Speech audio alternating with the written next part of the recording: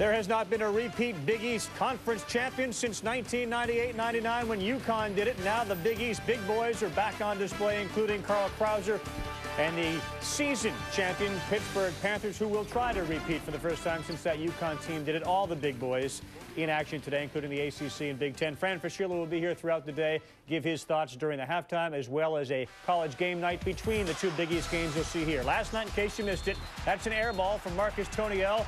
Seton Hall 60 to 59 against Villanova. So Villanova down one, and Mike Nardi, Randy Foye. Followay finds the net. Villanova up one. Seton Hall's last chance with time ticking down. Andre Barrett launches and finds the window. Villanova wins 61 to 60. We have seen some outstanding Big East games so far, and here comes the Pittsburgh Panther team that many project to be a number one seed in the NCAA tournament as well. Fran and I will be here to keep you posted on the other games. Now let's send it to Sean, Billy, and Jay. Day two of the Big East Championship at Madison Square Garden in New York. Today, quarterfinal round action. In the first of four games, the regular season conference champion Pitt Panthers take on the Virginia Tech Hokies. Pittsburgh had a first round bye yesterday, while the Hokies beat Rutgers to advance. It's championship week presented by 7-Up. Later today, Syracuse meets Boston College.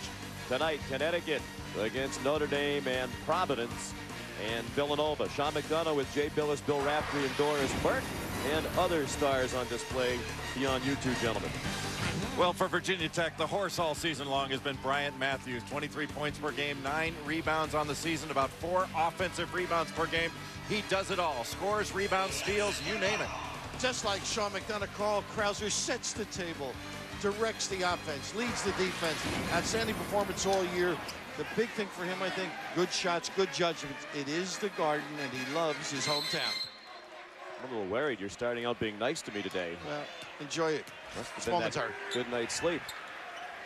Chris Taft controlled the tip for Pittsburgh, dressed in the white, and we're underway. The first of four quarterfinal games today. Delighted to have you with us on ESPN2. And Sean McDonough and Jay Bilas. The Hokies go. They beat Rutgers by three. They had three very close games here yesterday. Only BC a relatively comfortable win over Georgetown. Battle for possession. And the ball goes over to Virginia Tech, coached by Seth Greenberg, a young team. Jamon Gordon and Zabian Dowdell, Coleman Collins, all freshmen. Bryant Matthews, the only senior. And he's their star, first team all-conference and the leading scorer in the league at 23 per game in the regular season. And Sean, they're concerned about turnovers. They don't turn it over, they can stay in touch. Matthews. Put up a wild shot. Might have been deflected en route by Taft. And here's Krauser playing in his hometown. And passed up a three as Sales ran out on him. Now Chevon Troutman. They don't take bad shots, Jay. Virginia Tech doubling when it goes down into the post. They need to find the open man, shoot it, or put it on the floor and get into the lane. Shot clock at 10. Julius Page missed the layup. The tip would not go.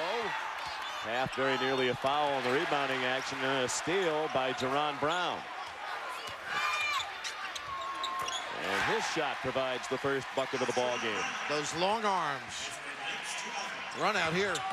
Jamon Gordon answers for the Hokies. Boy, that's one of the best ways for Virginia Tech to score, to try to get it down court quickly so they don't have to grind it out against this Pittsburgh defense that stands you up on every cut. They bump you and knock you off your path. And right now, Gordon on Krauser, he wanted this assignment, according to the coaches. Staggered back pick to get Troutman in the low post.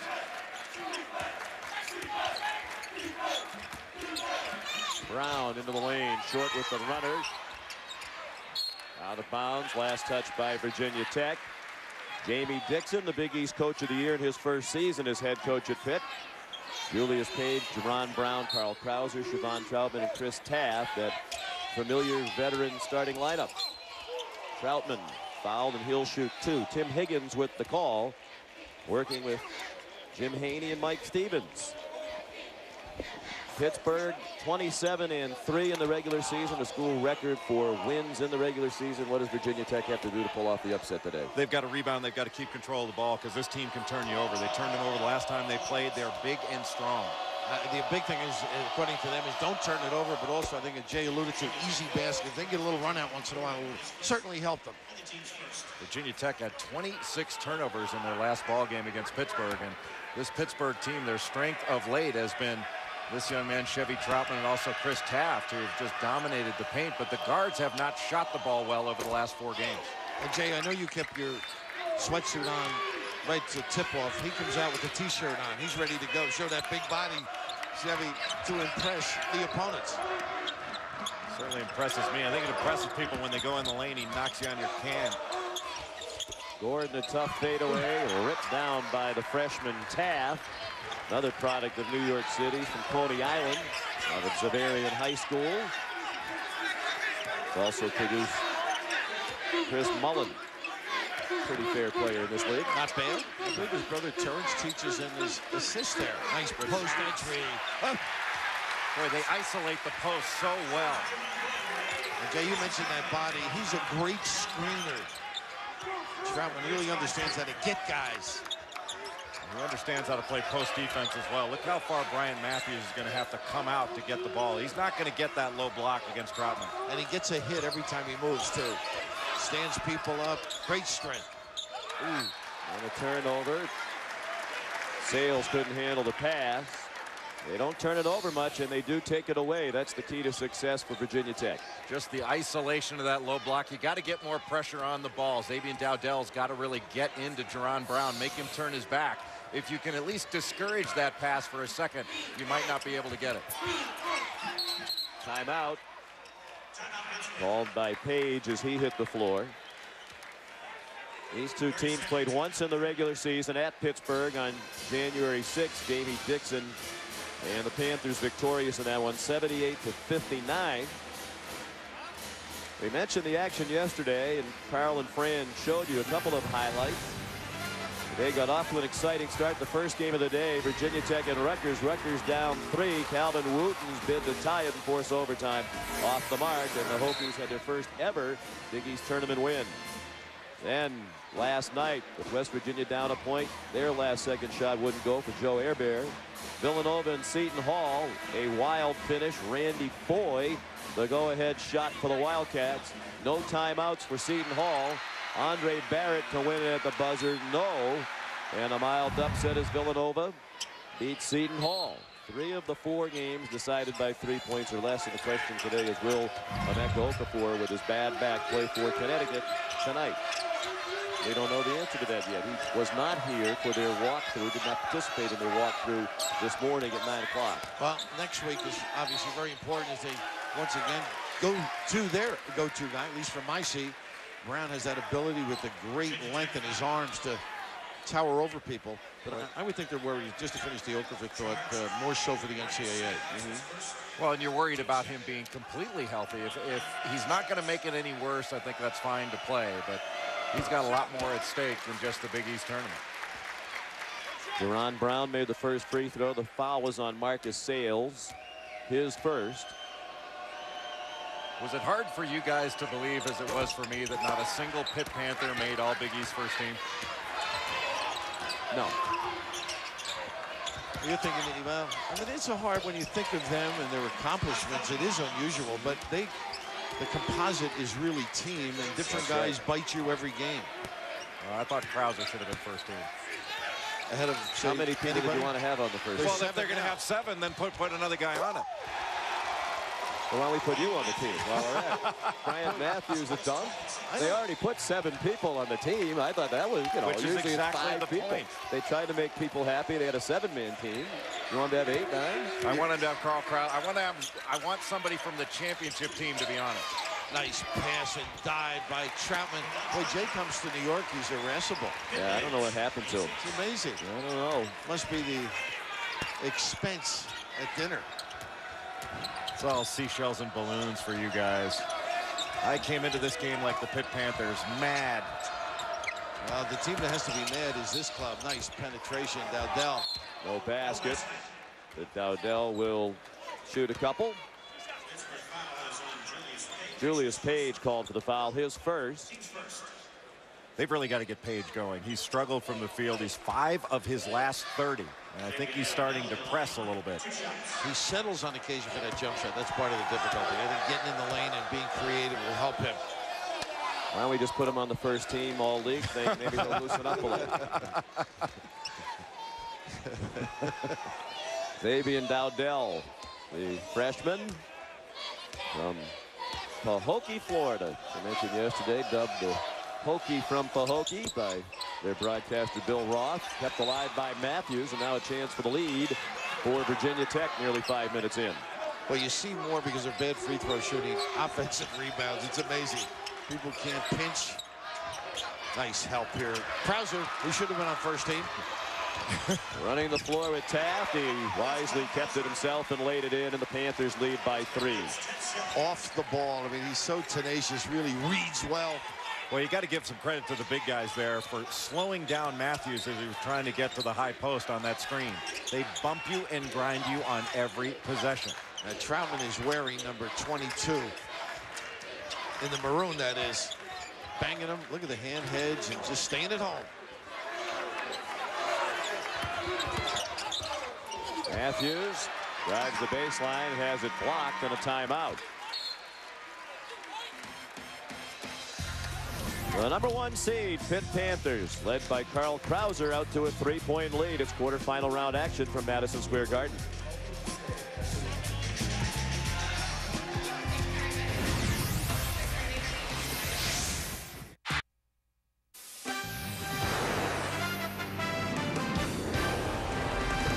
ESPN2's exclusive presentation of Championship Week is presented by 7-Up and your local 7-Up bottler. Make 7-Up yours. And in part by Rolling Rock Beer. Grab a rock.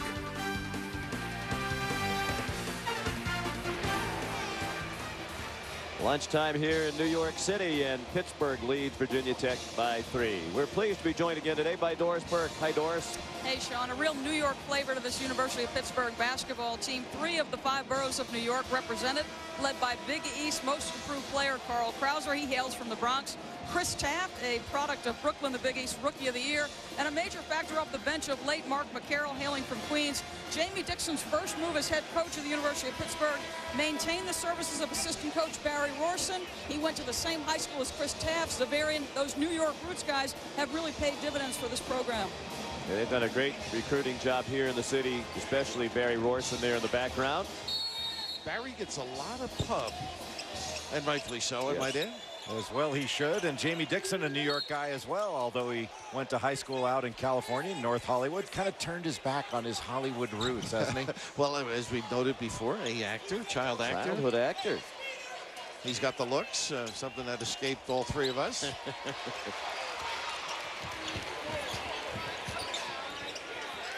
they just grind you away, don't they? And Krauser's three wouldn't go. Nice job by Sales. Kept the rebound alive for himself. And the push for the Hokies down by three. You wonder if Pittsburgh is starting to think about the fact that their guards have not been shooting the ball well at all the last five games. Foul called. Pittsburgh bench didn't like it. The Syracuse game in particular, they struggled from deep, and I think Syracuse defense has improved quite a bit. Pittsburgh does such a great job defensively. See as the ball's reversed. You can see Bryant Matthews getting out of the low block. He gets bumped right there by Chris Taft. When he gets bumped, that just slows their timing down. That's what ultimately helped lead to that steal by Carl Krauser, the score on the other end. The bumping and grinding with your cuts just really slows everything down. You can't get your timing on your sets. They really impede your progress. And that's what they do beautifully. Try and make a cut. They just bang you legally. Hand hedge legally. Toree Morris at 6'10", 282 into the ball game for Pittsburgh. The free throws by Coleman Collins have made it a one-point game. The last foul was on Jaron Brown, his first. A couple of these bodies, uh, Page gets his first clean look and knocks it down. A couple of these Pittsburgh bodies look like they should play for the Steelers. Morris and Troutman in particular. Much better stroke there for Julius Page. Maybe that'll get him going. He's a much better shooter than he has shown over the last five games. The shooters lose their rhythm, and there's the arm extended, and Krauser frustrating. It starts at the top, the great defense, and Dowdell just a little upset. They haven't been able to penetrate at all. First foul on Dowdell, and the third against the Hokies. Down by three with 13 and a half left in the first half. Krauser to Brown with Page, Troutman, and Morris for Pittsburgh. A quick duck in, and Brown had too much pressure on him to see in there. I thought the Troutman was open. And I, I think Matthews did a pretty good job, though, considering the loss, uh, the difference in weight. He's not going to be able to help as much with Troutman, who's a terrific offensive rebounder. And a three and a long one for Julius Page, the senior from Buffalo, New York. The slump could be over. It's over. Huh? He's got the rhythm. Gordon off for Dowdell, a nice baseline jumper.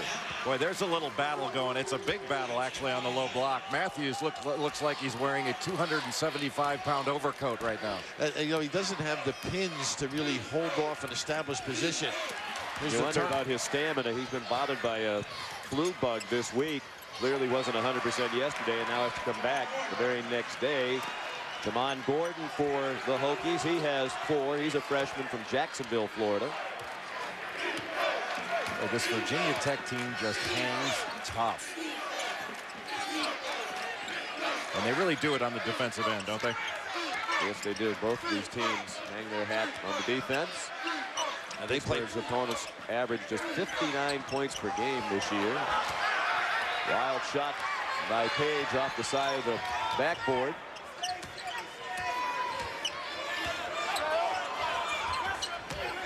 Philip McCandy fouled. Got a shooting foul, and we'll get a TV timeout. The foul on Morris, his first.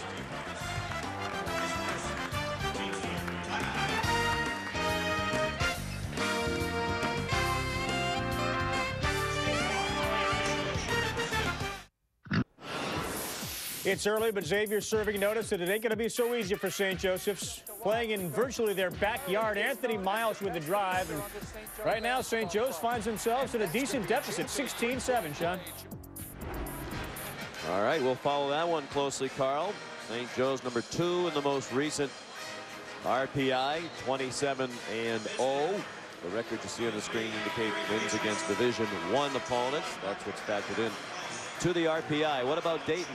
What do you think about their chances in the NCAA tournament? I like. Uh, they're going to go to the NCAA tournament. I think. I think uh, Brian Gregory's done a terrific job with that team. They've got really good big guys led by Keith Waleskowski, the left-hander, who's had a terrific season. Probably hasn't gotten noticed for it. Well, we saw them in Maui, and they certainly have had a good year. But how about Richmond?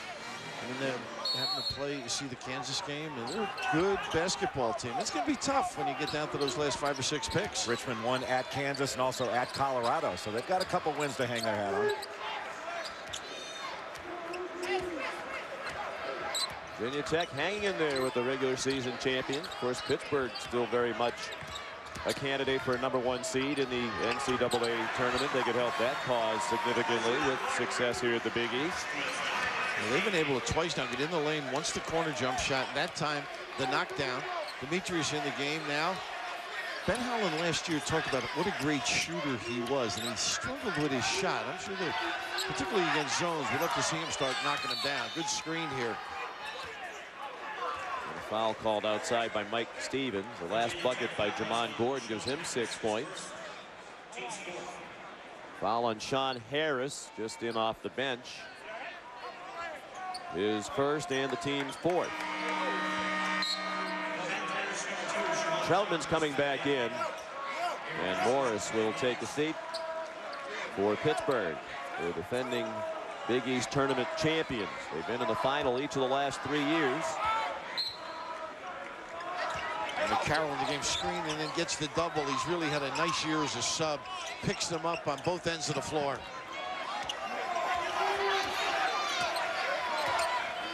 Pittsburgh has a variety of different sets, and they run them through to completion. This team runs their stuff, as coaches like to say.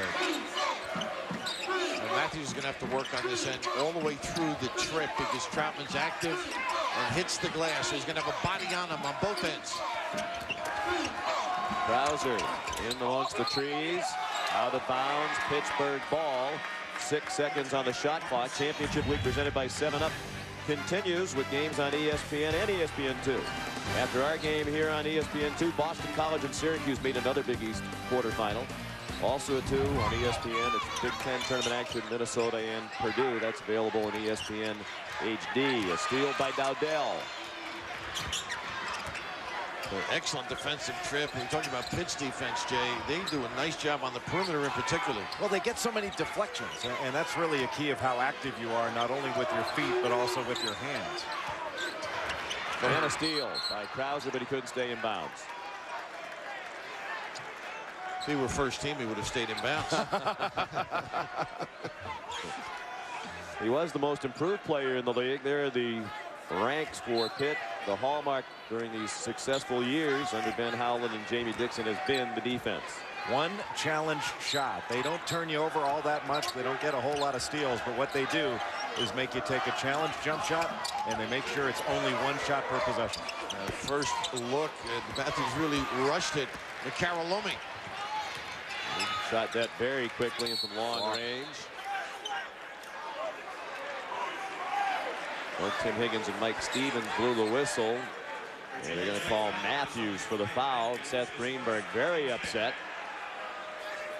Uh, it's really funny. Now you go to Timmy Higgins, who's the senior official right here, and uh, I just think unable to get shots. I guess you got to call that. Jay ran right through the screen at some point, trying to hustle a little overzealous in his denial. It's Mike Stevens' call, but it's Tim Higgins who Seth Greenberg is wearing out over there. Nicely, I assure you. Yes. Well, I think I think he may have an argument that wait a second, we're getting bumped on every possession down there, and our guy's trying to get to the ball handler, and you're calling that. Troutman called for charge.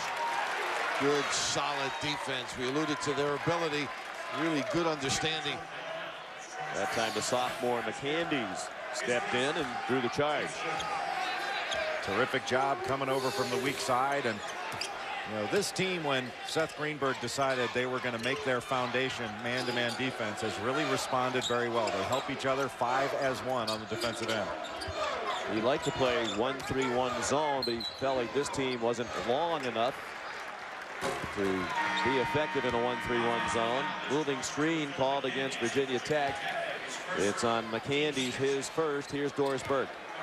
Know, Sean had an opportunity to talk to Seth Greenberg before the game today. He said, you know what, we're never artistic. He said, but I've tried to show my guys on two things. Number one, compete every day, every play, and embrace your role. Whatever you do, do it to the best of your ability. They're scrapping and clawing out here, hanging tough with Pittsburgh early, guys. Well, that's a really good point, Doris. Jaron Brown gets another basket inside. Boy, he's so tough in there. But weren't you weren't you impressed with what he said, uh, Seth Greenberg, about Bryan Randall, the, the role that he played in, in leadership in the locker room? What was it he said? He coached the locker room for him. Nice step in here. Speaking of being coached, huh? McCarroll, are they going the other way? Let's see. Yeah, offensive foul was oh, the call. Okay. And Tim Higgins making sure that McCarroll's okay. Foul on Dowdell, his second. Uh, the ability to play defense, we've been alluding on both ends of the floor. And I think what Pitt does best, Jay, a pretty easy call, is make you use clock on offense because they're so sound, force you, as you noticed, into a challenge shot or a tough shot.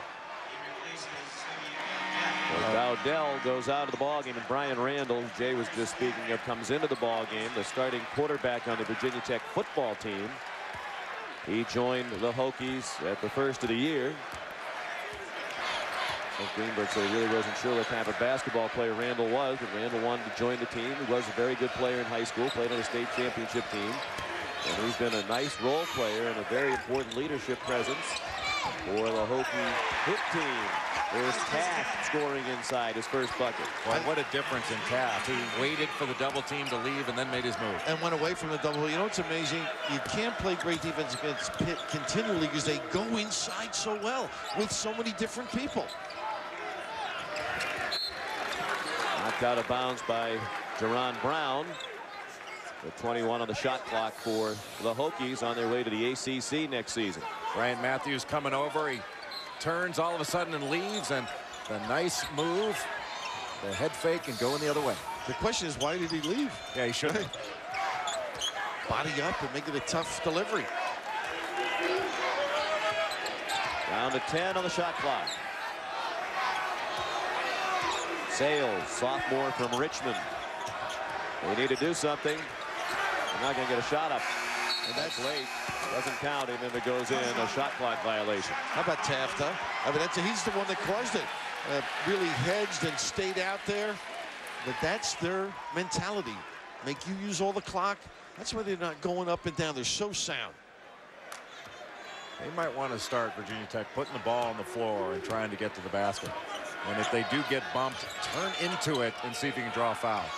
Look at this work down here. My goodness. Troutman missed a short one. And here's Sales the other way for the Hokies.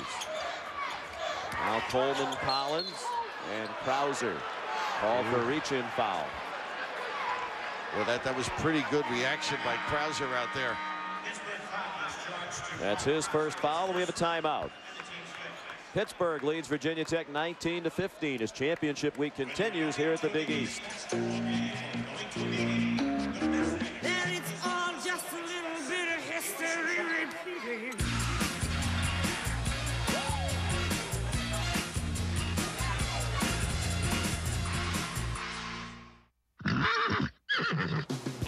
This is a crucial moment for the male.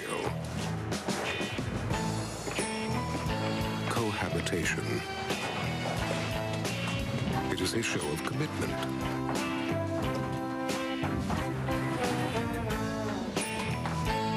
It is an indication of responsibility.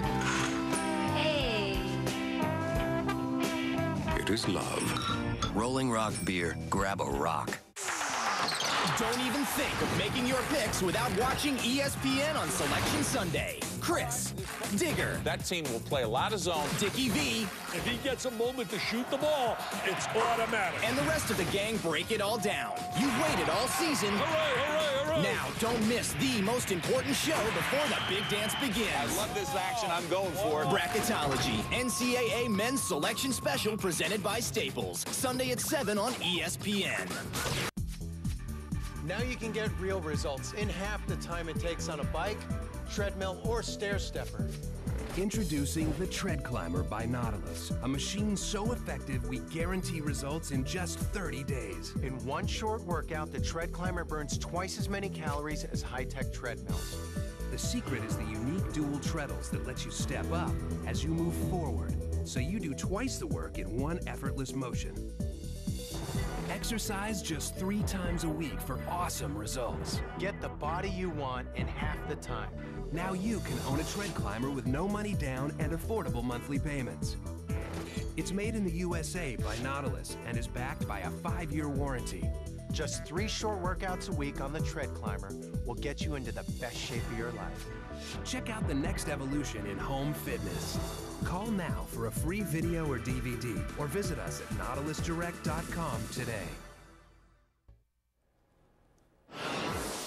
Keeping the eye on number one and unbeaten St. Joseph's and Xavier.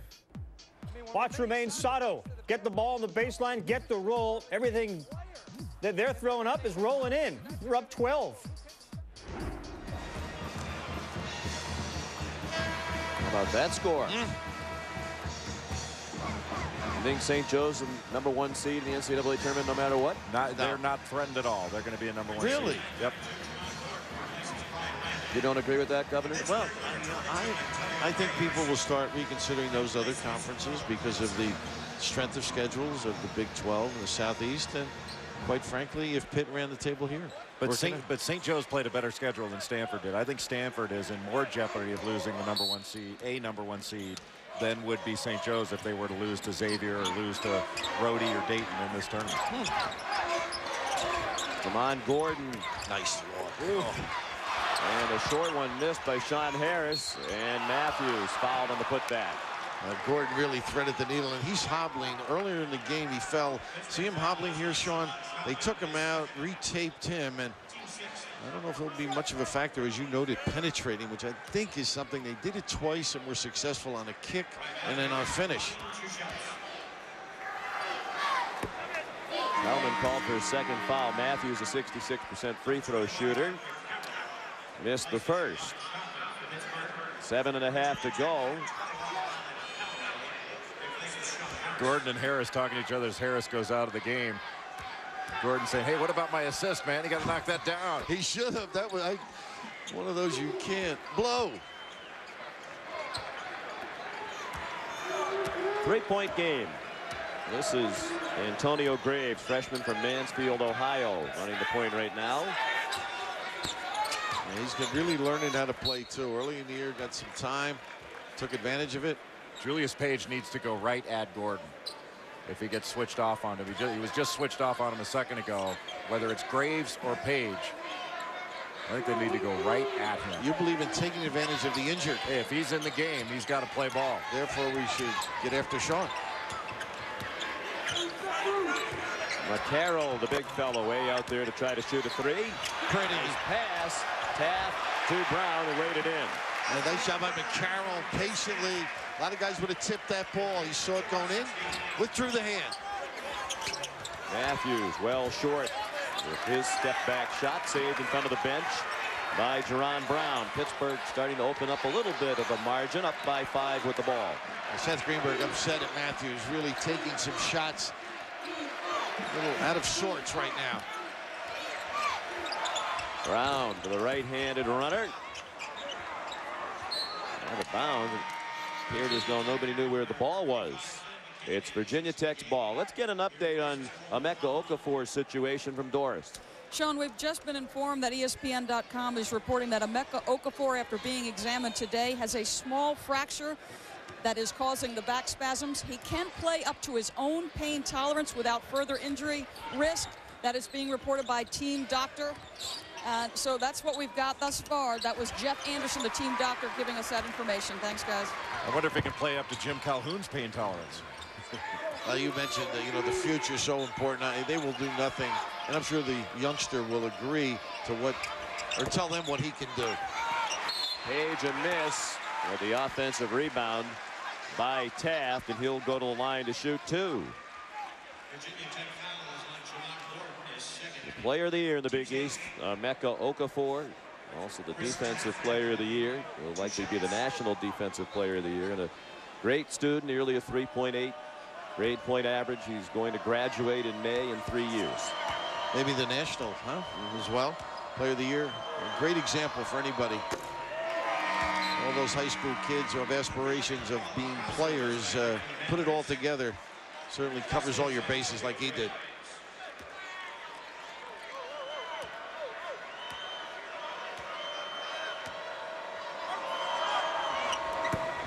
A knuckleball. That had no rotation on it at all. Hoyt Wilhelm. They're both Scroogies there.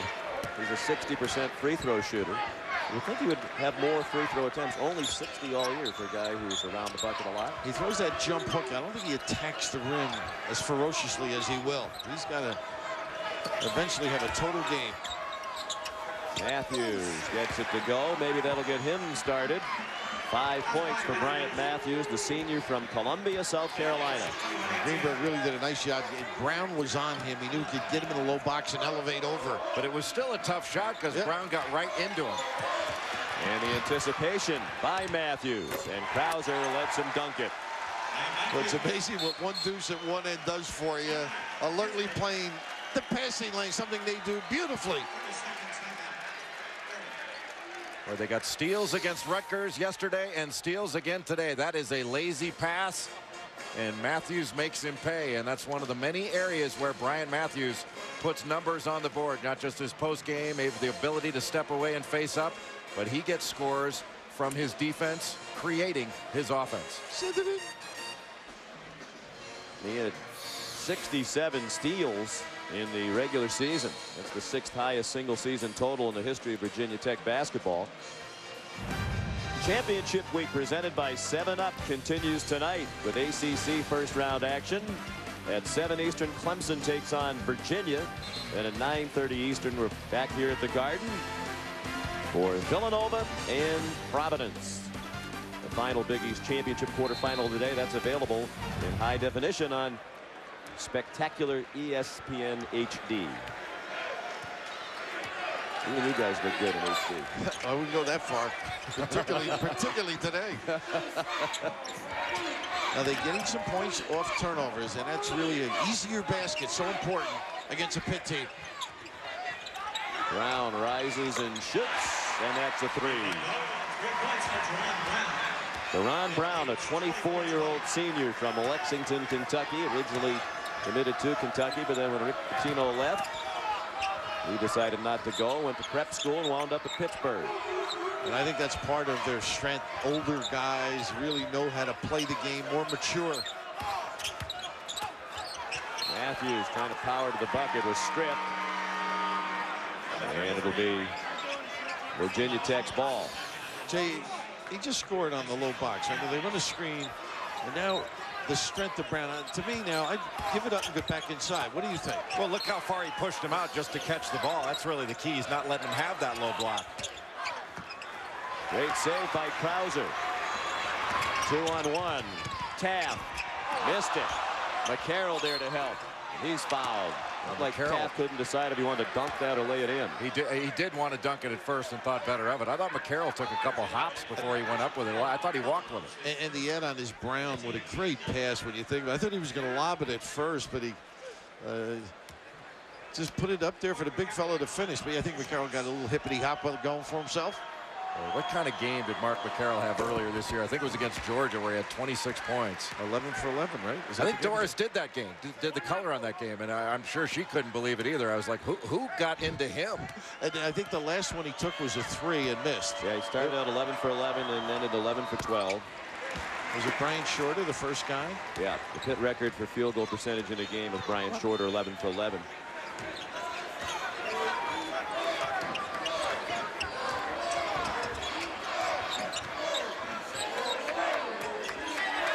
20 seconds on the shot clock. And Krauser with the steal after Page almost swiped it. Krauser lays it in. Timeout, Virginia Tech. Seven unanswered points for Pittsburgh right after the Hokies had it down to one.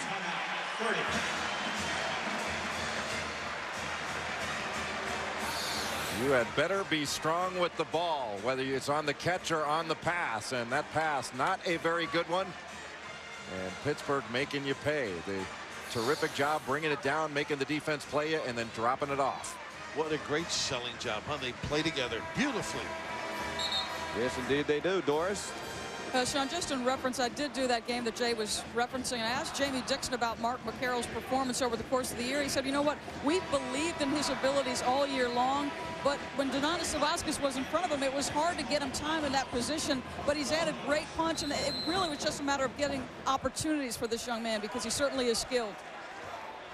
Well, it's a great example of sticking with it over the course of your career. Some guys develop at different rates. So I think people now expect if you don't come in as a freshman and knock the bottom out of it, that you're not any good. And, you know, some guys develop over three years and really turn it on as a junior. Pretty good high school coach, too. Bobby Oliva at Christ the King. Uh, defensively, I don't think he was up to their standard for a while last year. Boy, they're struggling on the perimeter. Look at this double. Matthews, desperation three with the shot clock running out. Boy, what, what a play drawn up by Seth Greenberg. Very nicely done. He has not had any easy ones. Come on, Seth, get him the ball. He's hot. Seth Greenberg in his first year at Virginia Tech after his stints as the head coach at South Florida and Long Beach State. Both of those places took over programs that were down and turned them into winners. There's only a two losing season the coach was in his first year at each of those two stops. They have a winning record this year, 15 and 13, heading into this one after just an 11 win season last year for the Hokies. Foul on McCarroll, his first, and a timeout at the Big East Championship at Madison Square Garden.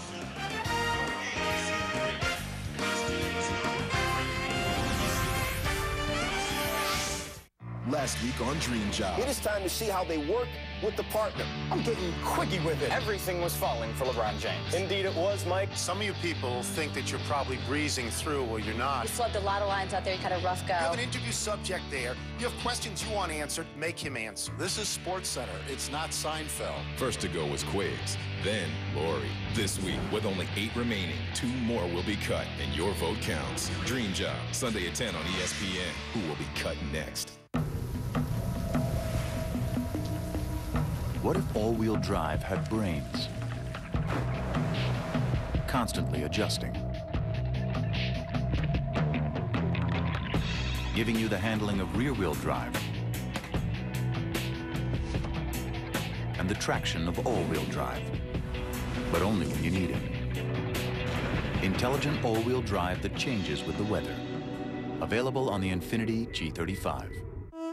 Apparently, somebody was up late last night. Make that somebody's. And that's okay. Because if you work hard, you play hard. Right? Right. Just don't look in the mirror. Unless you're using Nivea for Men Revitalizing Lotion Q10. Q10 replenishes the coenzymes that your skin loses over time. So your skin feels healthy, firm, and fit. Even when you don't. Nivea for Men Revitalizing Lotion Q10. More evolved skincare. Karl Ravech and Fran Fraschilla coming up on the 7-Up halftime report. The NHL has spoken. Todd Bertuzzi of the Vancouver Canucks will not play the rest of this season. How much longer? We'll have that story for you. St. Joe's in their A10 opener, are the unbeaten team in a big-time dogfight right now. And Emeka Okafor's got a fracture in his back, but he still could play. What's going on with St. Joe's? Well, Phil Martelli told me last week he thought his team might be mentally wearing down. They are not guarding Xavier today, getting beat off the dribble. It's 39-19. We'll see you at the half. Wow. Wow. Shocking score.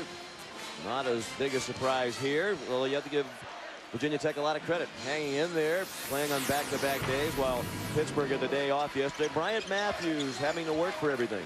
God, the defensive trauma is extraordinary, Jay. And uh, the this, I fell in love with this play. Now watch the double from the top. A great read. I believe it was Page came down. And how about this discard?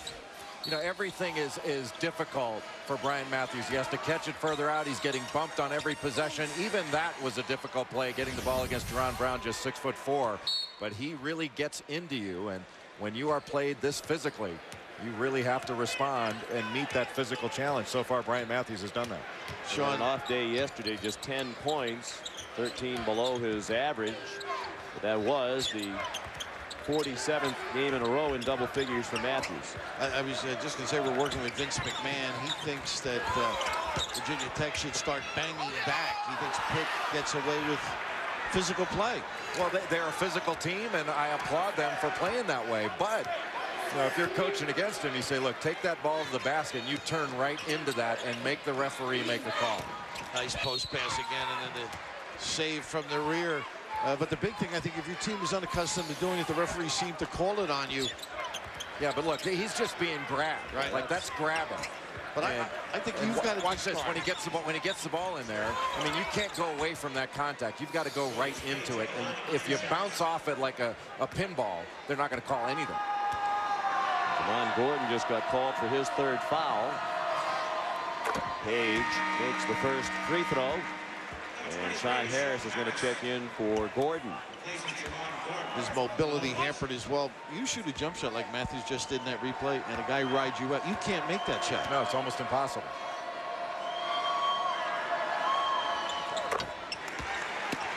Two free throws by Page out of Turner Carroll High School up in the Buffalo area, areas. High school no longer in existence. High school closed down for budgetary reasons at the end of the 2002-2003 academic year. They won a couple of state titles in the late 90s in basketball. I think didn't Jim Boeheim go to the... the yeah, I believe Jamie Dixon did Jamie as well. Too, yeah. They had a ceremony to close the school. They like to double and rotate. Nice slip. Ooh, good cover, though.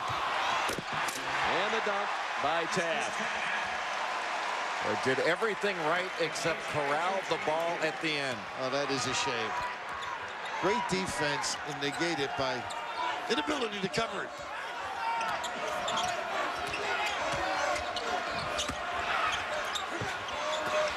Carroll a block.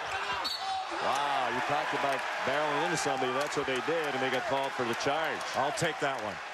Fight That's back. what you're talking about, right? Fight back. Oh, that's a shame right here. Everything but. And a hearty send it in. I mean, he is really a kid that I think has a big upside on the offensive end. Not necessarily that jump, but he is a physical performer, and he's got a little touch. Reminds me a little bit of Chris Wilcox, used to play at Maryland. Goes now with the Clippers. Boy, there's an awful lot of pushing and shoving in this game. And a rebounding foul against the Panthers. I believe it might be McCarroll on this one. They're over the limit, so it will be a shooting situation. The foul on McCarroll, his second. Championship week presented by 7-Up continues tonight on ESPN. 7 Eastern, Clemson and Virginia in first round action for the ACC. Then here at the Garden at 9.30 Eastern time, more Big East quarterfinal action Villanova against the 17th ranked Providence College Friars. Available in high definition on ESPN HD.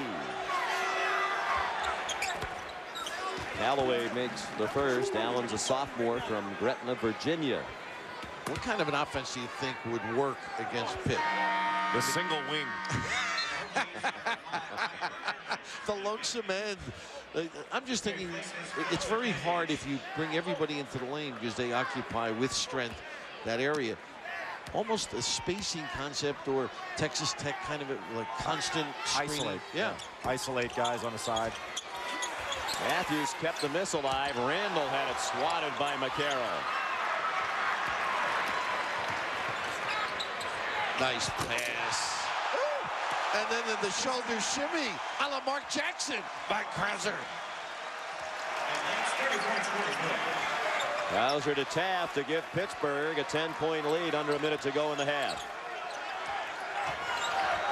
Basket and poise. That's what you got to have now. Look how deep Matthews is. That's about the only place you can get an open look. Look at NBA Krauser. Three. Great athleticism by Krauser. All the way to the bucket. Brown a tip. Sales has it. A chance for the last shot for the Hokies if they want it. They do have numbers. So Matthews heads to the basket and gets called for an offensive foul. I, I just think they're going to give Pitt a chance. You got to use the clock there and go down by eight, if possible, or seven, or stay at 10. Not good basketball. Second foul on Matthews. Pittsburgh will really lay their bodies on the line. Ron Brown coming over to take that charge. They are unafraid of the physical challenge. Little hesitation move. Five seconds. Krauser at the buzzer. No basket, says Tim Higgins. I think they might go to the monitor, but he waved off the putback, and now they are going to go take a look at it. I think he got it right. I, I do too. You know, they've got to make some sort of a signal. If there's a malfunction or they can't detect it, that's why they definitely make the signal and then look at the uh, monitor, as you noted. Tim Higgins over at the scores table. He'll look at the replay. This is the NBA arena where they have the backboard that lights up around the edge, indicating the end of the half. Well, they are going to count it. Wow. Ooh. He's pretty good.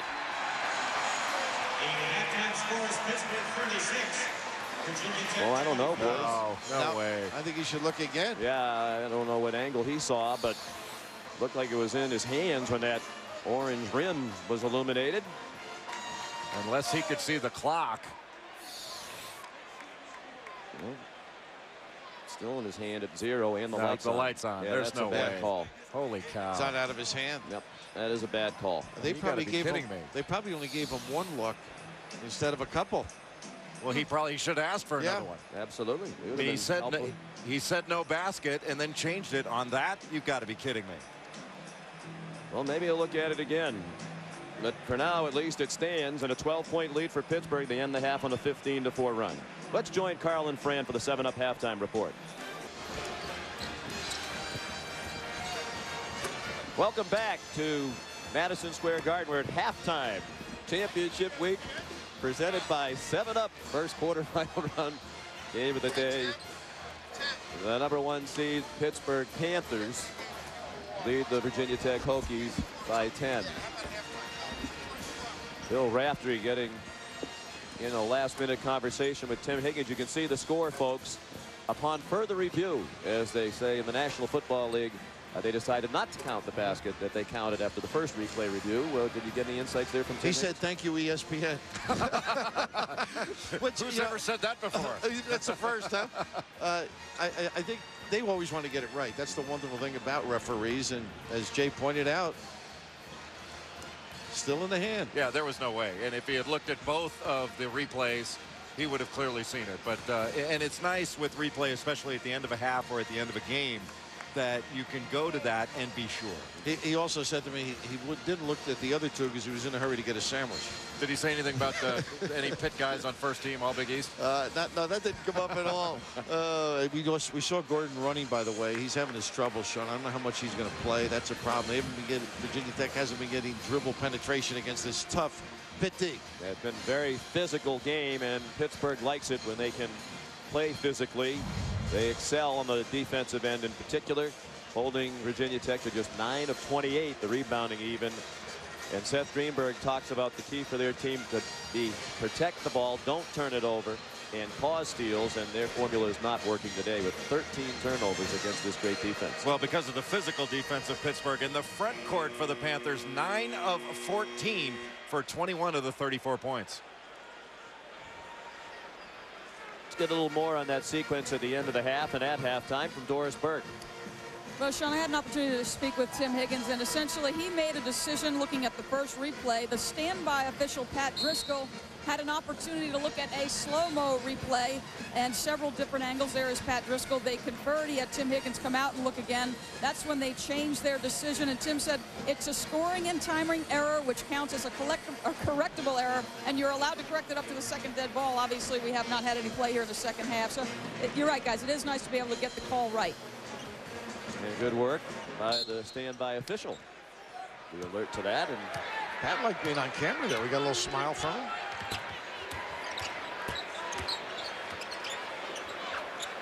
Second half underway, and Gordon is trying to go on a gimpy leg. Marcus Sales, and now Bryant Matthews.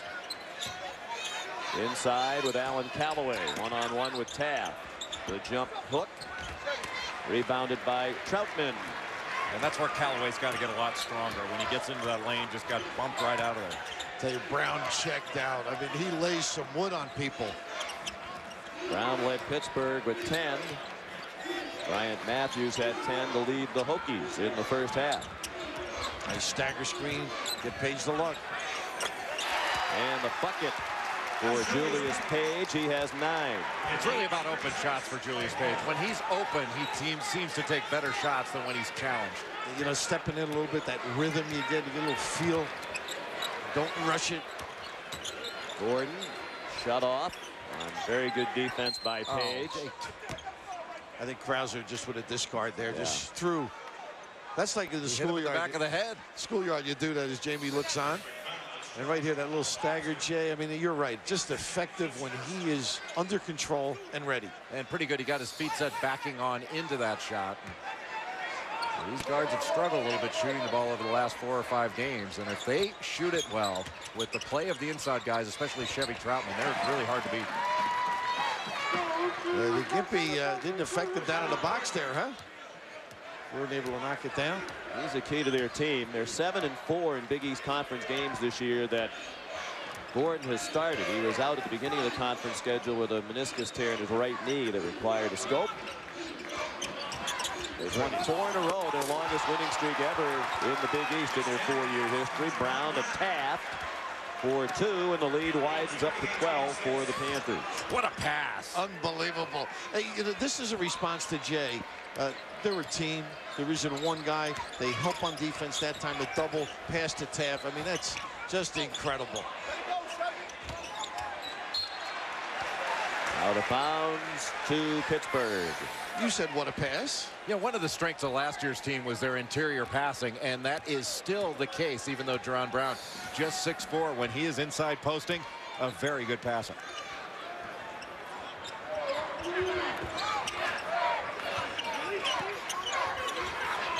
Krauser open for three. And the other problem there, Gordon couldn't move at all. Didn't get out. Got trapped inside. So effective finding people. Looks like the officials might crack down a little bit on the chucking here in the second half. Page with that nickel dimer. Do you think the crackdown by the officials makes Seth Greenberg feel any better now that he's 15 points down? no, no, you're right. You know, it needs to be done when the game is on the line. Actually, now I'm You taking the officials. last night, yeah, I don't think he's a very happy guy. he must be. He's got to go back home and go to work. Three wouldn't go for Zabian Dowdell. But the follow-up in good for Gordon, and he has 10. Showing his toughness too. You know, we've all had that bad ankle. Tough to perform. You've still got it. bad ankles, bad knees. The elbow seemed to be working fine last night. Half inside. And he'll go to the line to shoot two. It's great to be able to use either hand. Championship week presented by 7-Up games on ESPN and ESPN 2. Following our game right here on E ESPN 2, Boston College and Syracuse. In their regular season meeting, Syracuse won up at the Carrier Dome, also at 2 Eastern Minnesota and Purdue in the first round of the Big Ten. That's on high definition, or in high definition, on ESPN HD.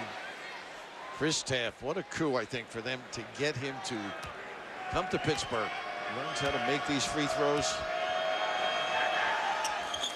That is an unusual. You said screwball, right? Yeah, it looks like a little screwball. He's 0 for 4 from the line. More than a knuckler. Shot 60% in conference on 60 attempts. 20 seconds to shoot. Nice job lifting, making the defense work here. Use the clock. Matthews is a star player, works very hard at the defensive end, too.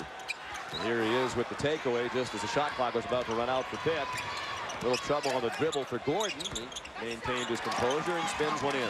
Terrific presence, Sean. and Let the traffic run by. I think part of that had to do with the fact he's hurt. He's having a tough time getting up and down the court, but he is gutting it out. Gordon is six out of seven from the floor. Jim Boeheim signing autographs. The defending national champions are in the house. They'll play Boston College when Virginia Tech and Pittsburgh leave the stage.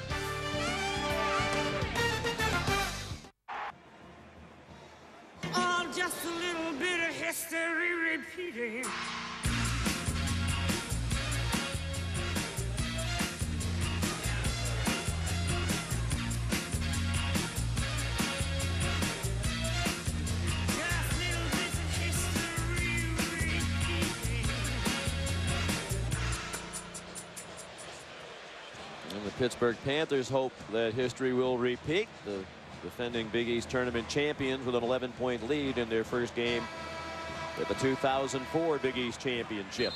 Here's Doris Burke.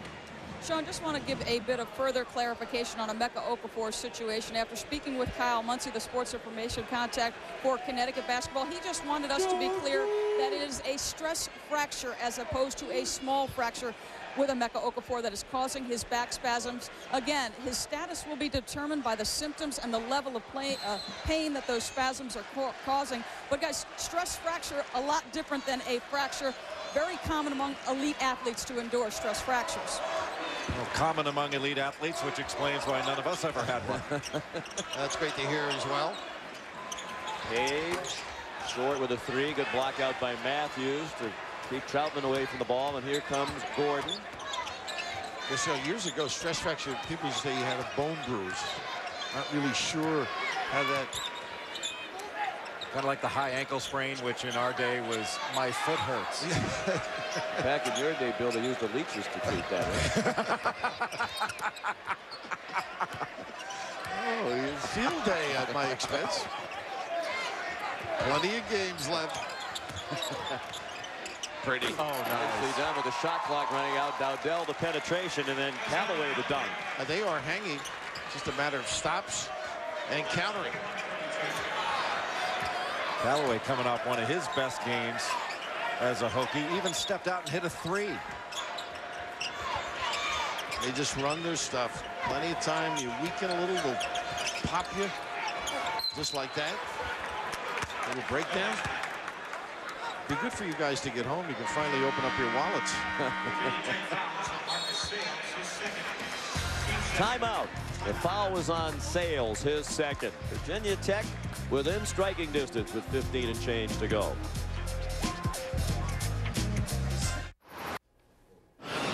We told you St. Joe's facing its largest halftime deficit. It's only gotten worse. Justin Cage doing some damage on the boards. 29 points in a hole. Number one and unbeaten St. Joe's. Well, it begs the question we asked earlier, gentlemen. If they go on and get routed in that game, does that affect their seeding? Do they drop out of a number one seed? And uh, would that enhance perhaps the chance of this Pittsburgh team should they run the table here to be a number one seed? I think you can make an argument for them to lose their number one seed, but I wouldn't take it away from them. They've lost just one game if Xavier's able to hang on, which I think they will. Uh, and other teams have lost more than that. I mean, how do you, how do you square putting Pittsburgh in there over St. Joe's when, you know, Pittsburgh was beaten at home uh, by Syracuse. I mean, they lost to UConn and lost to Seton Hall in double overtime. I mean, you've got to honor that undefeated season in my view. Uh, they may not drop out, but I think it will be talked about. I think that you know, we talked about the SEC earlier, the Big East, of course, the Big 12, and, and just assume, say, Duke has one if they win the ACC. And there's the crossed arm look by Krauser. He knocks it down. I mean, it is a possibility.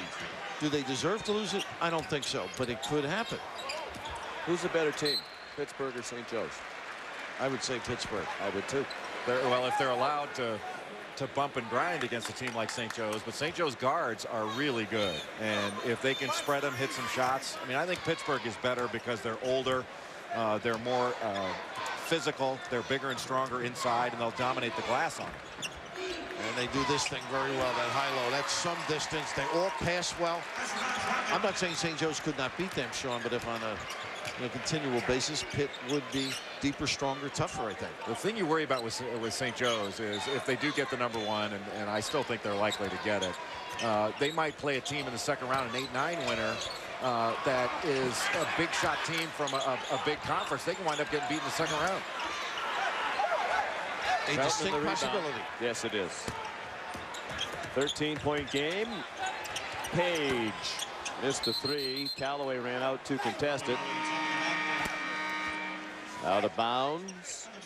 It goes over to Virginia Tech. And of course, a team on the bubble here at the Big East tournament is Notre Dame. A thrilling victory last night to advance to the second round. That loss to Central Michigan really stands out. They had a terrible year. Well, let me, let me ask you this question. Because of the quality wins that Notre Dame has had, if it came down to Washington or Notre Dame, who do you put in? Ooh. I put in Notre Dame. I, I would, would too. too. Washington, as well as they have done coming down the stretch, they've won 12 of their last 14. And Notre Dame coming down the stretch. Yeah, they both played well, but, but Notre Dame's played a much more difficult schedule. Not even close. Matthews has 12 points. There's a runner by Krauser that wouldn't go. And Matthews leads a break, four on two. Oh, my goodness. Boy, he did everything but finish. Now, now here's He'd the be, key. He would be running laps for me, though. He's carried you all year long. Do you take him out? Uh, you know what? I, I, think he deserves at least a chat. I mean, I was a senior. Could have done a lot better. I mean, that's one of those that uh, your friends may enjoy. But, oh, my oh. goodness, you don't ever do this, I don't think, to that's opponents. crazy. Or your teammates. Wow. And Seth Greenberg turned around and looked at his brother Brad, who's one of his assistant coaches. Uh, they might have discussed what they should do, but Seth didn't appear to say anything to Matthews.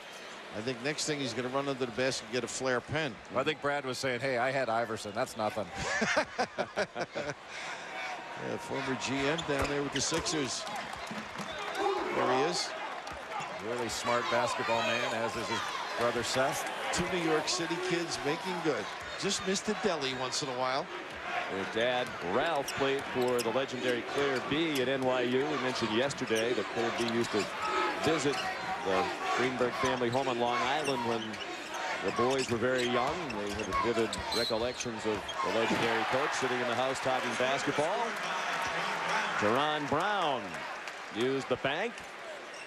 And he'll have a chance for the old-fashioned three-point play. How about this strength, Jay? Unbelievable. Little kiss at the end, hanging. He was actually looking under the basket, maybe uh, the dump off, but the presence to hang between floors and ring the bell. For Brown, when he's being bumped on the way to the basket, is the equivalent for us sitting out on the porch swatting away a fly. I mean, that's nothing how strong nothing he is. affects him. Foul on Harris is second. 13 points now for Brown. He's already graduated from Pittsburgh. Nice job. Timmy Higgins running in from center court. He's calling an offensive foul. He must have uh, the elbow that side of the floor away from us. The way Timmy ran in there, he didn't like it. I think they're trying to clean it up a little here in the second half. It wasn't vicious in the first half, but there was a lot of bumping and grinding, as Jay said. Now they heard Jay's tape, I think. Gordon to miss. Carroll snatches it out of midair. Running the floor. Troutman. Deceptively quick, that guy. Did you see him early in the game? His man was heading Jay, turns it up a notch. The big body getting down the floor. Nine for the junior from Williamsport, Pennsylvania. One of eight children is Chevon Troutman. Krauser hit the floor hard and the foul called on Matthews. This is championship week brought to you by 7-Up ACC tournament action today. The first round Clemson and Virginia at 7 over on E ESPN. Followed by Villanova and Providence at 9.30 from the Big East here at Madison Square Garden. Available in high definition on ESPN HD. Interesting to see a guy like Jamie Dixon take over pretty much the total package that Ben Howland ran. I'm sure there's been some tweaking, but uh, believing in the system and these guys have bought in and really responded to his tutelage. Yeah, why change anything? Yeah. I think that's a sign of good coaching. You have a system in place that works, and of course, Jamie Dixon part of installing that system at Northern Arizona with Ben Howland, then here at Pitt with Ben.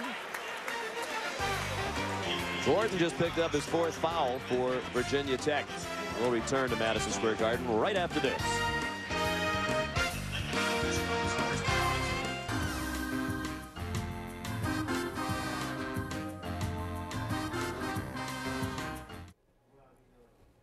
St. Joe's not the only team getting blown out today. Georgia doing it to Auburn, already up 21-6. Chris Daniels fires a three to make it 24-6. So there's one runaway. Meantime, Xavier is hammering St. Joseph's now 65-32. So there's your blowout. Now the debate can begin about one versus two and what the difference is between one and two. Hmm. That doesn't help, I don't think. Hard to fathom. Yeah. I, I, you know, just probably all the emotion and pressure when you think of it. See it slip away. And, Yeah. A big development in this game. They announced a change in the foul. They charged it to Matthews for that little reach in there. Wow, in the game that's been this physical, that's a ticky-tack fourth foul. Five and dime. Oh my goodness, McCrory's basement, and then uh, Seth a little bit upset. You guys probably shopped there when you were younger. Seth very upset, rightfully so, I think, with all the banging, as you noted. Carroll, great elevation on that jumper, but he missed the line drive shot. Here's Gordon. Matthews on the bench, their best player out of the game, down by 14. A tough break for the Hokies. Dowdell, that's a two. Five points for the freshman. When they've penetrated, they've been successful. And they've got away from it. And, and I'm really admiring Gordon's stick-to-itiveness. I mean, uh, he's played, he's limited, but uh, still providing a lift on that penetration.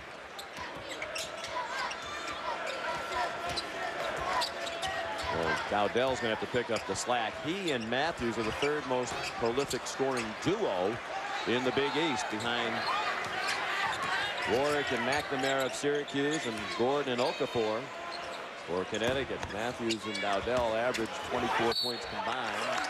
Demetrius a foul for the shove along the baseline that sent Coleman Collins out of bounds.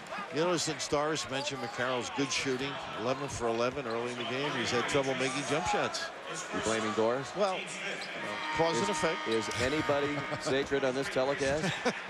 well, I want her to feel comfortable. I want her to feel the pain that I've had all week, all year. it's only been a year. It seems a lot longer. Gordon has 14 points.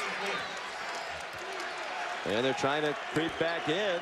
They've outscored them four zip since Matthews went to the bench with his fourth foul.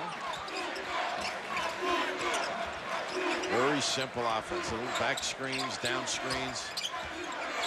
Dowdell a strip. What great hands this Virginia Tech team has on defense. I just love their defense. without their star. And that's really uh, Seth Greenberg said when we chatted with him the other day. They need the defense to jumpstart the offense because they're just not a good enough offensive team to generate points without the defense helping. He really doesn't have a great back to the basket guy either, although Matthews is more than adequate. Uh, they're not the power guys that you see on the Pitt uh, team. I think Collins could mature into one. Oh, unselfish, teamwork extraordinary. And Chevy, take the Chevy to the levee. Our apologies to Don McLean.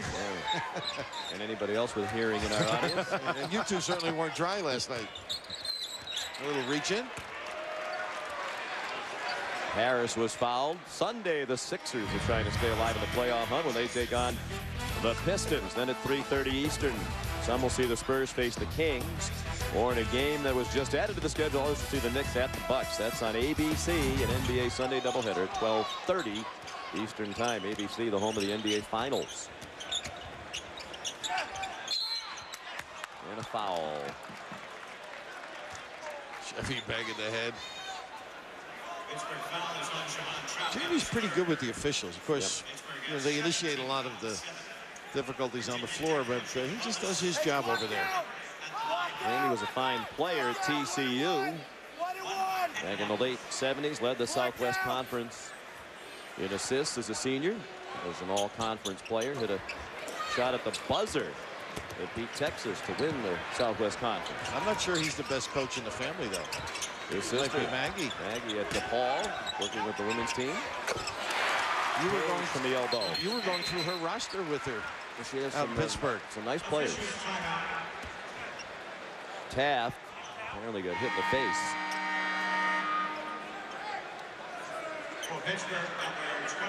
Are you surprised there aren't more of those lacerations or eye scratches because of the guys trying to strip and go up, Jay? Oh, yeah. Yeah, I mean, uh, some guys choose to wear goggles, and I'm surprised there aren't more guys losing teeth. Guys Mhm. wear mouthpieces, and it's always the inadvertent one that gets you. Right. And sometimes your teammate. Exactly. McCarroll has come in for Taft, still being treated on the bench. Pittsburgh shot the ball beautifully here in the second half. And an offensive foul called by Jim Haney. And a nice little, they run that little post exchange from the wings, and you just can't move. Unfortunately, Callaway called for a second foul. Just wasted one there. Wanted Carl Krauser to feel what it's like. Matthews still on the bench. It's almost reality setting in there, wasn't it? The way he was Yeah. shaking his head. Well, it's conceivable this could be the last game of his career. I, I think they'll get invited and should be invited to the NIT. I would think so as well. Very deserving of it. Krauser, a miss, and here's Gordon. Nice move. But couldn't make the tough fadeaway. Out of bounds. Pittsburgh ball. Got to get fouled there. He turned away from the contact instead of going right into it. Are you surprised at his foot speed, though? I mean, he's really did. A, they did a great job getting him taped up at halftime. Now, he's really gutted it out. Under nine minutes to go. Pittsburgh, the number one seed, the regular season champion. They were 13 and 3 in the Big East in regular season play for the third year in a row. Page fouled. Oh, goodness. It's becoming a foul festival. Both teams over the limit now with eight and a half to go. Once in a while, uh, guys get the ball. I mean, I just it didn't affect the play. We get hit harder on the subway. Well, at least I do. Third foul on Zabian Dowdell.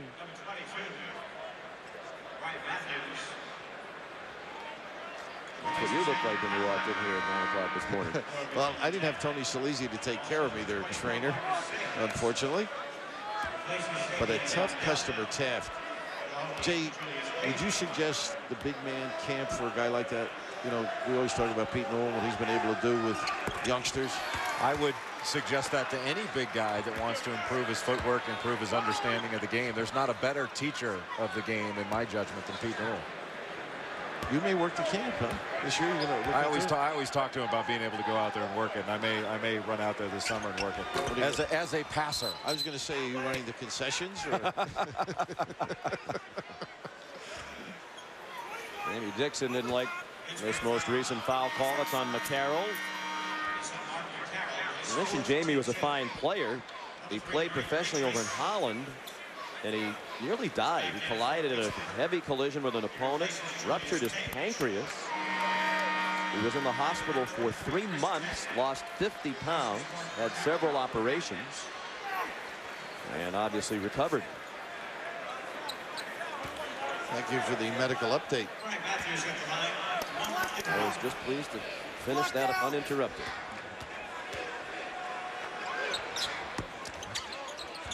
Matthews a miss.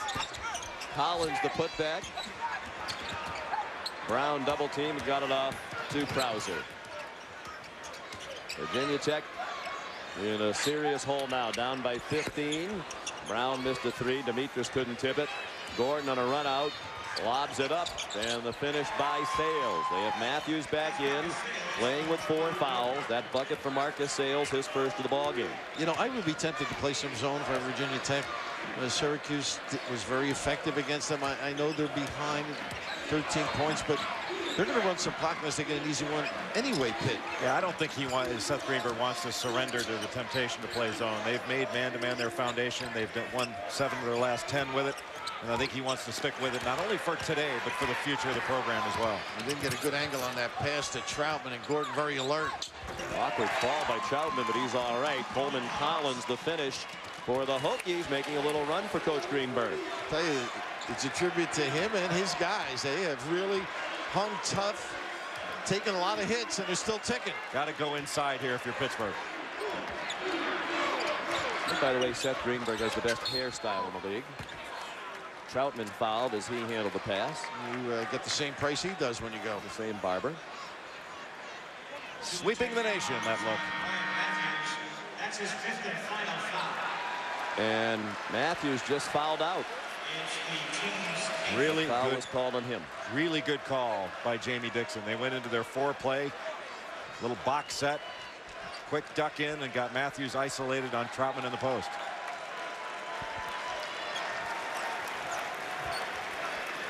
Is that their number four play? Yes. Okay. Just wanted to clarify that. Excuse me. Play number four. Thank you very much.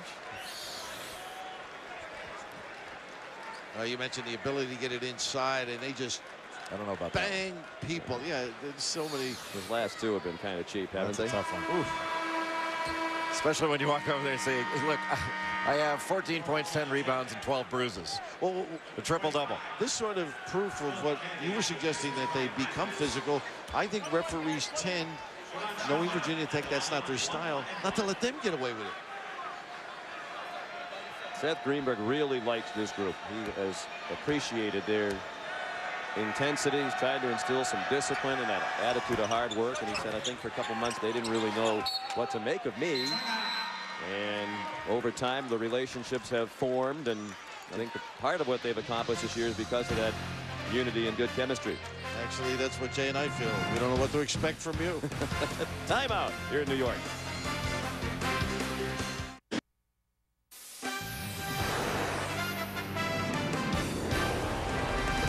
ESPN2's exclusive presentation of Championship Week is presented by 7-Up and your local 7-Up bottler. Make 7-Up yours. And in part by Miller High Life. To live simply, proudly, boldly, manly. This is the High Life.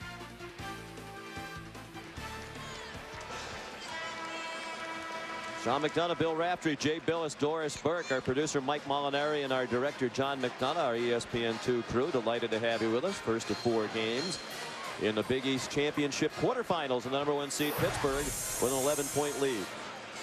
We've talked about their interior passing, the draw of the double team, and Chris Taft with the nice look. And this team goes to the glass. Another great pass. The no look. The good look and the no look. We mentioned all the things they took from last year. You mentioned how good they were last year. They're just so unselfish. Good feel for one another. They get the spots. They make themselves available. And they catch the ball, Sean McDonough. Essential. Difficult to score if you do not catch the ball. Matthews out of the game for Virginia Tech. They'll have to come back without their best player. Speaking of catching, that was pretty good by Collins in traffic. Now McCandies with the putback. Philip McCandies with his first bucket. They're right there again.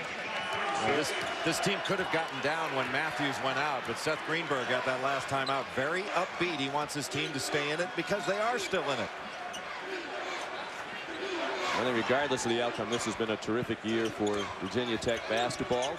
Perhaps turning a corner, very good young nucleus. They lose only Matthews. That's a major subtraction, obviously, but he's the only senior. They have no juniors.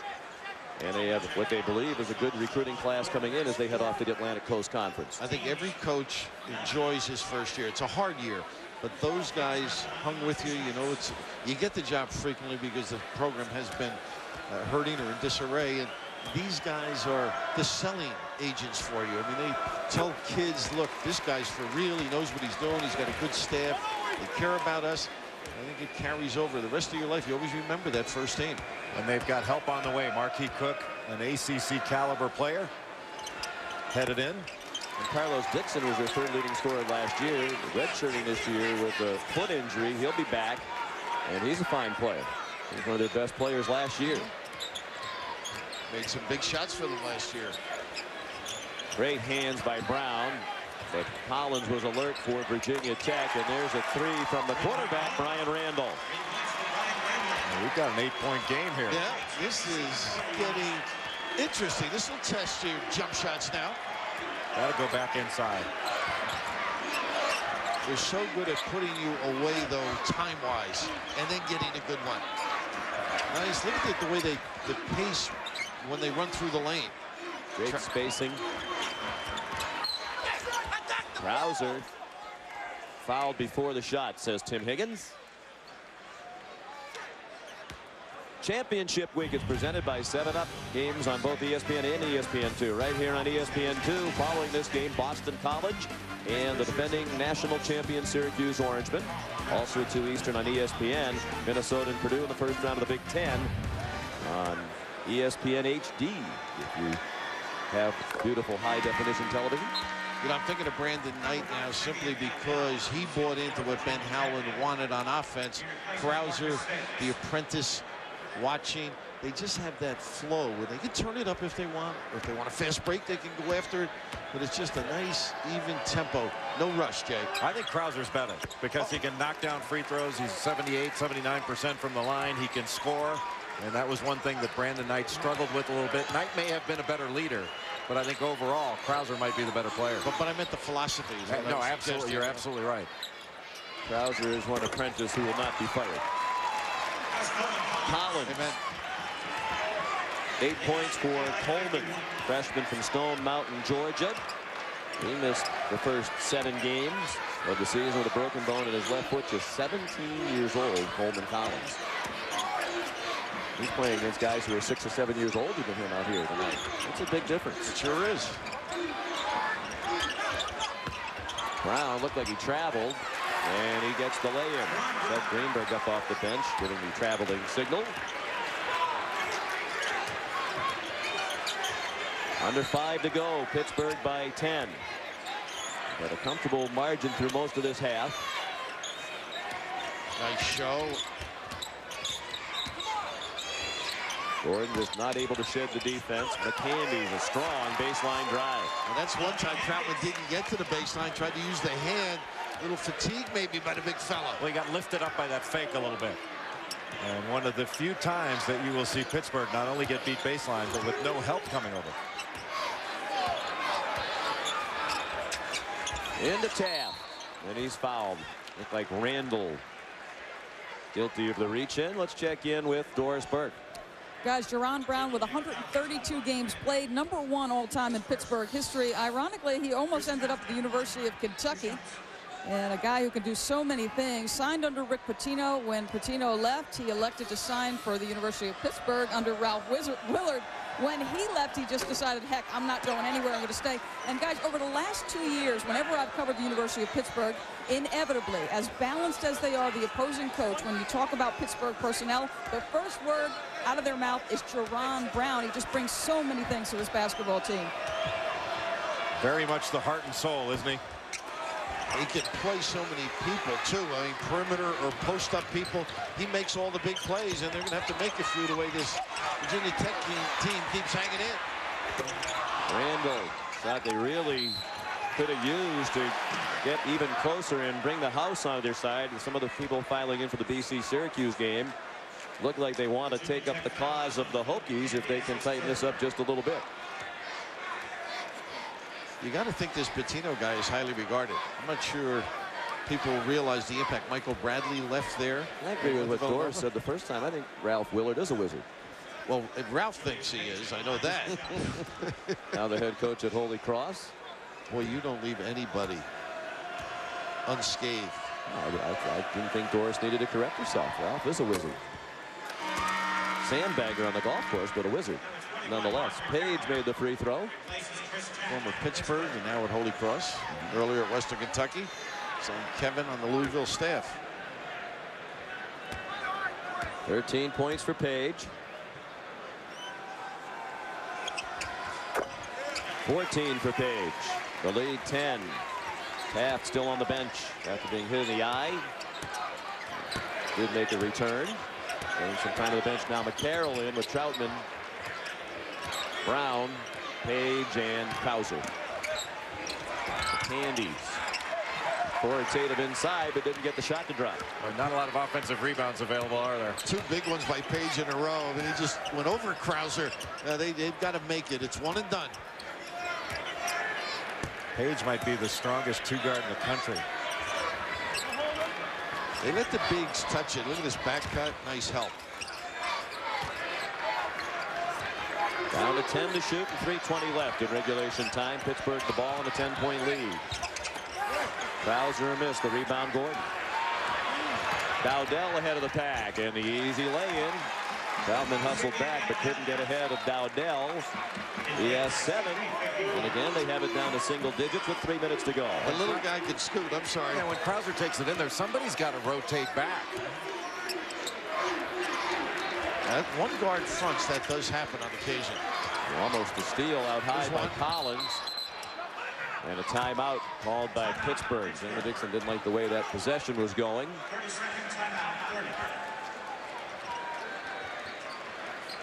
They'll have 18 seconds to shoot out of the timeout. Championship week presented by 7-Up.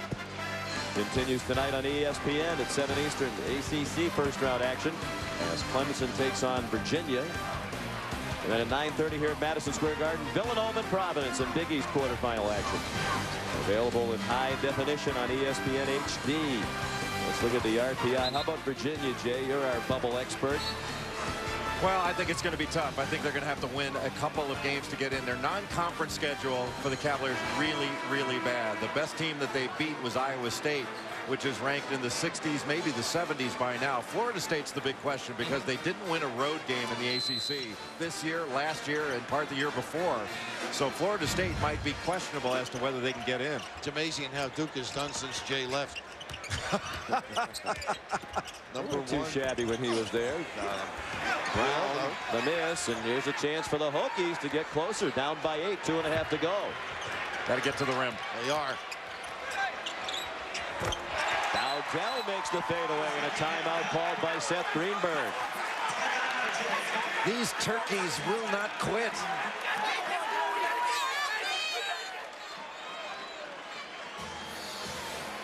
Uh, you mentioned putting it on the floor, Jay, and they do nice jobs spinning the perimeter people. I mean, they drive you one way, set you up, and then that drops them. And notice how the ball's all the way over to the right, so there's no reach around possible.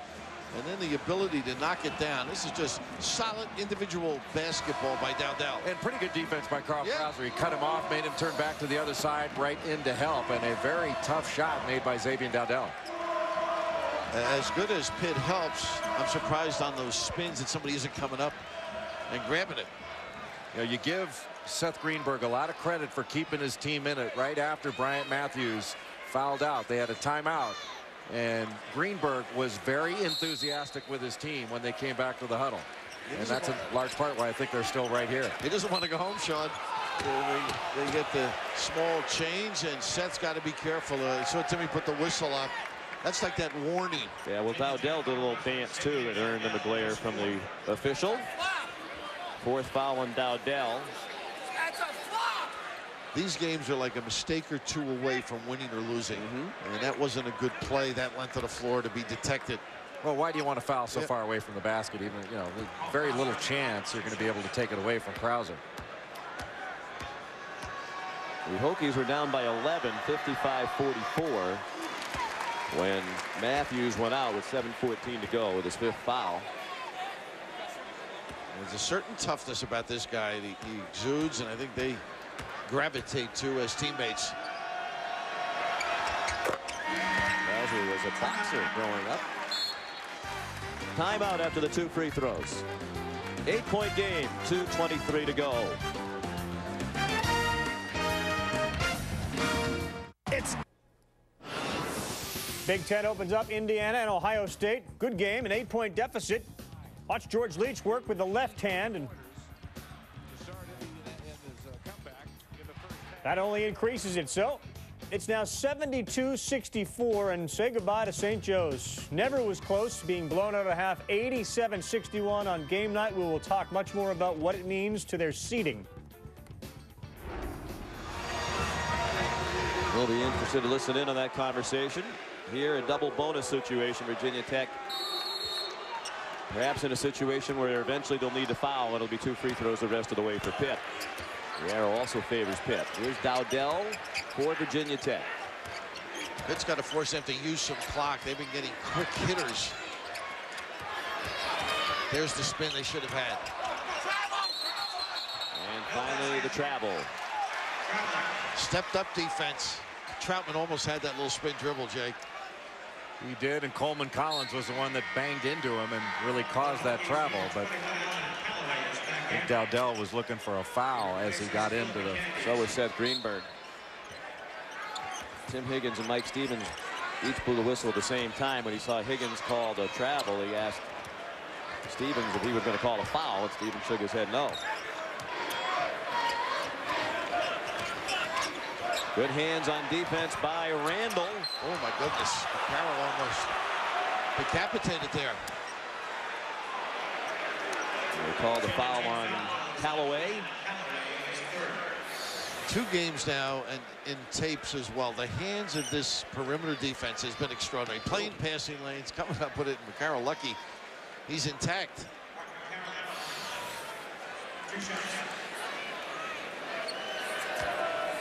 Seth Greenberg, a homecoming for him from Long Island, 47 years old. And it's been a cultural adjustment for him, living in Blacksburg out in that beautiful countryside of southwest Virginia. But he's pretty much been a big city guy his whole life, living here in the metropolitan area. He was in Southern California at Long Beach State, in Tampa South Florida. I love them saying his wife picked the house out or his wife made all these big decisions. Sounds familiar. Well, he's tried to bring some of the creature comforts of uh, the Northeast to his uh, home in Blacksburg. He paved over his front yard completely. oh, a social knock desecrating our beautiful area. Said his wife cooks a little more. Saves on the gardening. You know, in Blacksburg, they don't go out to dinner quite as much as they used to in the big cities.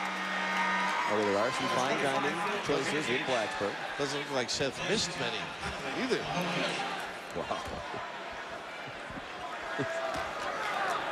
Relentless. Pittsburgh. That's been a standard the last few years too, even with all their successful teams. The free throw shooting usually not very good. Put down. They got it to 69% of the conference games this year, which was an improvement. That's the kind of thing that can hurt you in the NCAA tournament. Great containment by Brown. Forces the deep three. An air ball from Randall. Incomplete pass for the quarterback. Dowdell scores in a quick timeout by Coach Greenberg. 11 points for Dowdell. He's been big, especially since Matthews fouled out with seven and change to go. How good a job have they done stretching this game? Still in it with a minute and a half to play. The next game here at the Garden is Syracuse and Boston College. They're getting ready to go as we speak. Tonight in the doubleheader, Connecticut and Notre Dame. Emeka Okafor's status unknown with a stress fracture in his back. Providence and Villanova. Villanova won a wild one last night, as did Notre Dame. Villanova beat Seton Hall in the last second shot. Notre Dame survived the last second shot from West Virginia to beat John Beilein's very well coached team. If Notre Dame has to go against Connecticut without Emeka Okafor, you can bet that the Irish are going to be a little more aggressive in attacking the basket, not just settling for threes. That puts a lot of pressure on Armstrong and Boone, uh, who's had to play secondary roles in a sense defensively with Okafor inside. Full court pressure from the Hokies, down by seven.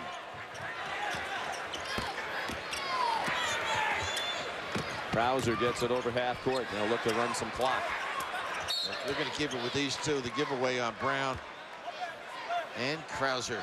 Brown a good choice. He's just a 61% free throw shooter. Callaway called for his fourth.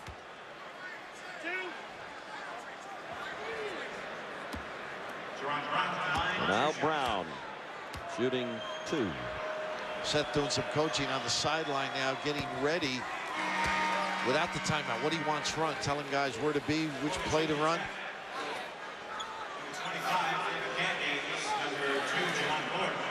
Callaway goes out and McCandies comes in with Gordon. They have Gordon, Randall, Dowdell. McCandies and Collins.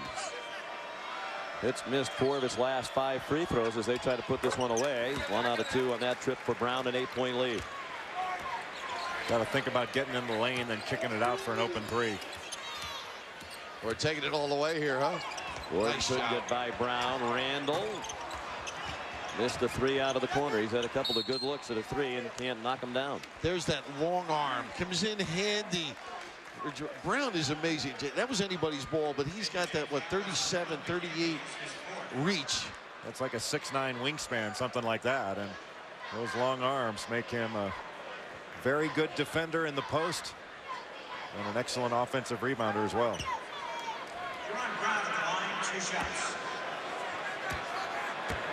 Brown back of the line to shoot two more. And the first one good. This is one methodical basketball team. That they are. They just grind it out.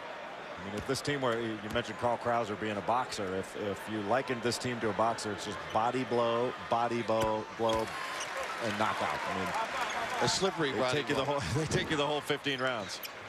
Now losing two and oh is at amateur. They want to fight him. Dowdell, a nice slice to the bucket, and he missed it. Krauser trying to run away from the fouls. Oops, almost lost the handle.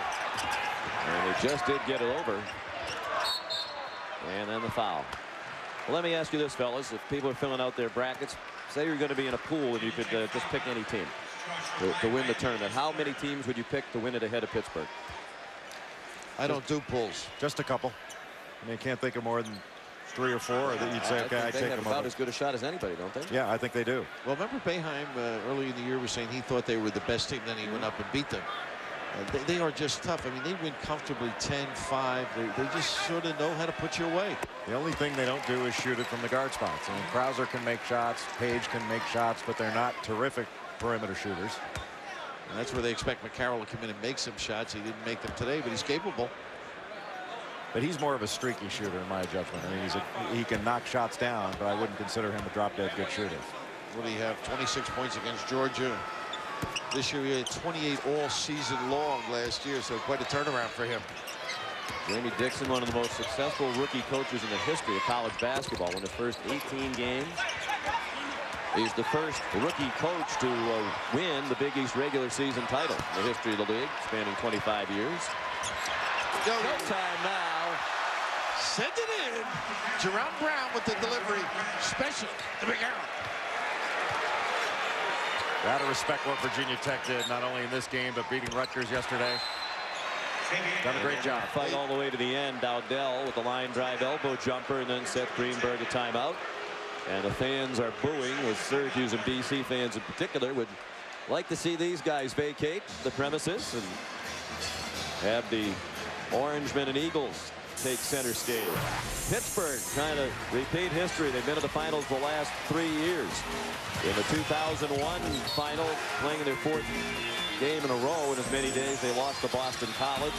One year later, they lost to Connecticut in a memorable double overtime final.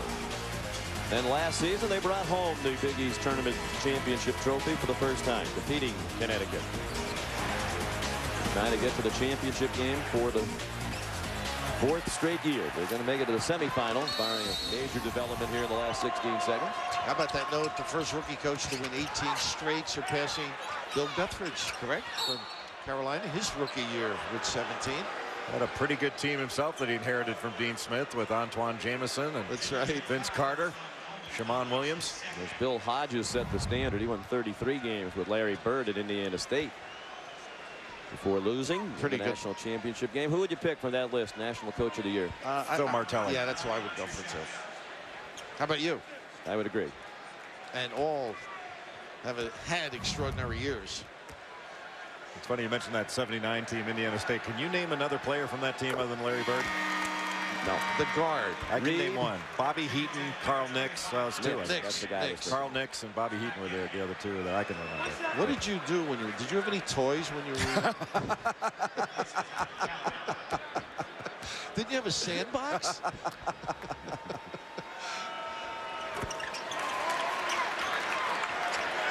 Twenty points for Brown. He leads all scorers.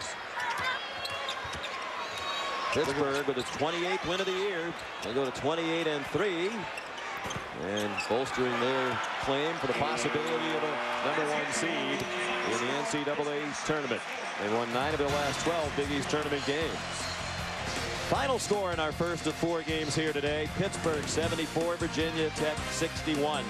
College game night coming up next, followed by Boston College and Syracuse. We'll be back with you for that in a few moments. This has been a presentation of ESPN, the worldwide leader in sports. For more, log on to ESPN.com. Now for Jay Bilas, Bill Raftery, and Doris Burke, Tom McDonough saying so long for just a few minutes. Here's Karl Ravech in our ESPN studio.